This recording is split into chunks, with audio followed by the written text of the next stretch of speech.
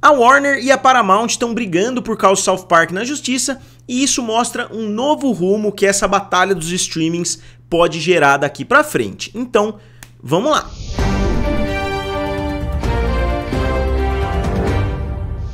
Então, pessoal, só explicando para vocês a situação, a Warner Bros Discovery está processando a Paramount, que agora é a Paramount Global, que era a antiga Viacom, né, que agora se transformou em Paramount Global, e a Warner, que agora é Warner Bros Discovery. Então, as duas empresas, né, sofreram um grande rebranding nesses últimos anos e agora elas estão se enfrentando na justiça por causa da série South Park. E por que isso está acontecendo? Antes de olhar a reportagem aqui junto com vocês, eu vou explicar o panorama geral.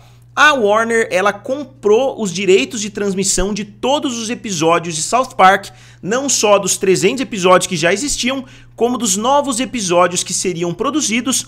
E esse acordo está sendo cumprido de certa forma, né? Eles estão fornecendo novos episódios para HBO Max, né? Lá nos Estados Unidos, obviamente, você consegue assistir os episódios de South Park dentro da HBO Max só que tem um ponto muito importante que, como eu disse, pode ser algo novo aí nessa guerra dos streamings, que é a Paramount ela encontrou, é, vamos dizer assim, um asterisco, ela encontrou uma saída para conseguir burlar esse contrato que ela tem com a HBO Max e ela fechou um acordo com os criadores de South Park para produzirem especiais, né? Ou seja, não são episódios convencionais da série, especiais e filmes que são lançados dentro da Paramount Plus. Então, enquanto eles têm um acordo com a HBO Max, eles não abriram mão de continuar lançando conteúdo de South Park dentro da Paramount Plus porque eles não estão chamando de episódios, eles estão chamando de eventos, eles estão chamando de filmes e assim por diante. Então isso está gerando uma grande controvérsia que já vem rolando lá nos Estados Unidos faz bastante tempo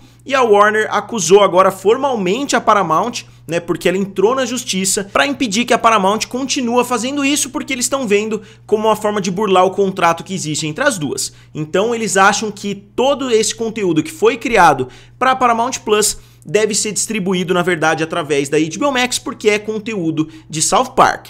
Então essa é a questão, né? Eu fico um pouquinho em dúvida porque realmente eles encontraram uma forma de burlar, não são episódios convencionais, só que eu acho que eles deveriam sim ir para HBO Max se eles fizeram um acordo que todo o conteúdo de South Park, todos os episódios de South Park deveriam ir para HBO Max eu não acho que mudando o nome você consiga burlar isso, porque não é que o filme foi lançado no cinema. Eu até concordo, se eles fizessem como os Simpsons fizeram, fizessem um filme para chegar nas salas de cinema, lançassem ali South Park. Já tiveram até filmes de South Park, né, que foram lançados.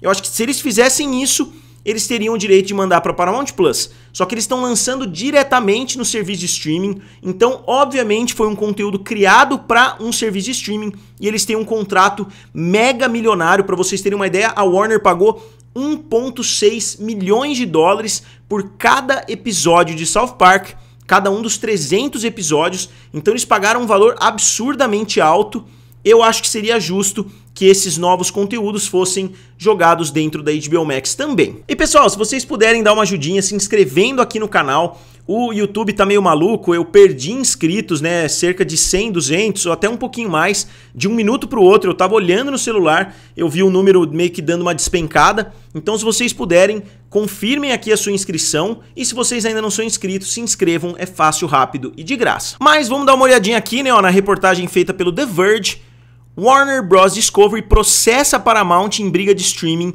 em South Park. É até curioso, né, que uma série como South Park, é uma série tão zoeira assim, tá gerando uma briga na justiça que envolve milhões e milhões de dólares. Chega até a ser esquisito, né, ó. A empresa afirma que a Paramount induziu a South Park Digital Studios a violar seu contrato de licenciamento com a HBO Max. É uma reportagem do dia 25 de fevereiro que eu queria ter abordado um pouco antes com vocês, mas eu acabei não tendo tempo a Warner Bros. Discovery está processando a Paramount por supostamente roubar o conteúdo de South Park, que afirma ter os direitos exclusivos. Essa é a palavra mais importante, né? Ó, direitos exclusivos de streaming, conforme relatado anteriormente pela Variety. Em uma ação movida na sexta-feira, a controladora da HBO Max afirma que a Paramount trabalhou com os criadores de South Park e sua subsidiária da MTV para desviar o máximo possível do novo conteúdo do South Park para o Paramount Plus para atrair espectadores para a plataforma.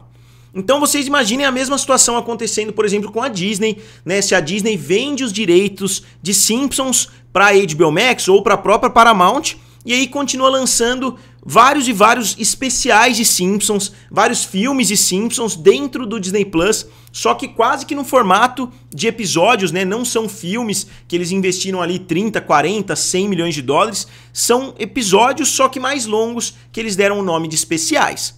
Então realmente dá para compreender né, essa insatisfação da Warner. Em 2019, a Warner Bros. Discovery diz que pagou cerca de 1,6 milhão por cada um dos 300 episódios, uma joint venture entre a Paramount e os criadores South Park, Trey Parker e Matt Stone. E aqui é o mais importante, ó. O acordo deveria trazer toda a biblioteca do programa, bem como os 30 novos episódios das temporadas 24, 25 e 26 para a HBO Max até junho de 2025. No entanto, a Warner Bros. alega que o South Park Digital Studios não cumpriu sua promessa de fornecer 10 novos episódios para cada temporada e cobrou da empresa um extra pelos 50 minutos do Pandemic Special. E aqui eles vão além, né? Inclusive dizendo, o processo também questiona o enorme acordo de 900 milhões que a Paramount fez com os criadores de South Park em agosto de 2021, apenas alguns meses após o lançamento da Paramount Plus. Então eles fizeram um acordo separado com os criadores para eles produzirem esse conteúdo diferente. Então, o que a Paramount fez basicamente, né? Se a gente for olhar na prática o que aconteceu, eles praticamente dividiram South Park em duas séries, o conteúdo que vai para HBO Max e um conteúdo que vai para Paramount Plus. Então o catálogo da HBO Max fica incompleto, então as pessoas estão assistindo ali South Park na HBO Max, eles são praticamente obrigados a migrarem para Paramount Plus para assistirem outros conteúdos que tem a ver né, com o conteúdo que está sendo lançado na HBO Max. Então eu particularmente estou do lado da Warner Bros. Discovery nesse caso. E aqui o estúdio criou vários especiais exclusivos da Paramount Plus incluindo South Park Post-Covid inclusive South Park Guerra dos Streamings Parte 1 e Parte 2. Né? Eu pretendo até fazer um vídeo aqui no canal a respeito, né? porque é interessante um filme com esse nome, né? Ó, Guerra dos Streamings Parte 1 e Parte 2, que estreou ao longo de 2021 e 2022.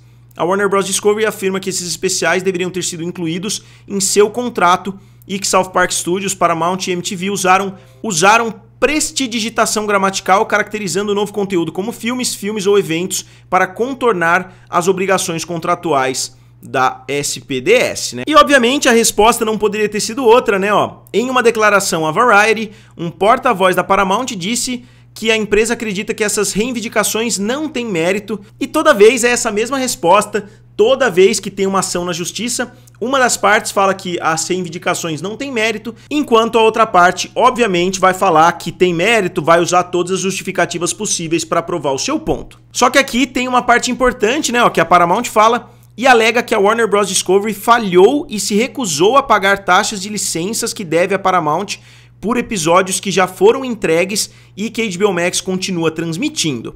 A Paramount não respondeu imediatamente ao pedido de comentário do The Verge. Então o que, a Paramount está alegando, né? Que torna essa história ainda mais interessante.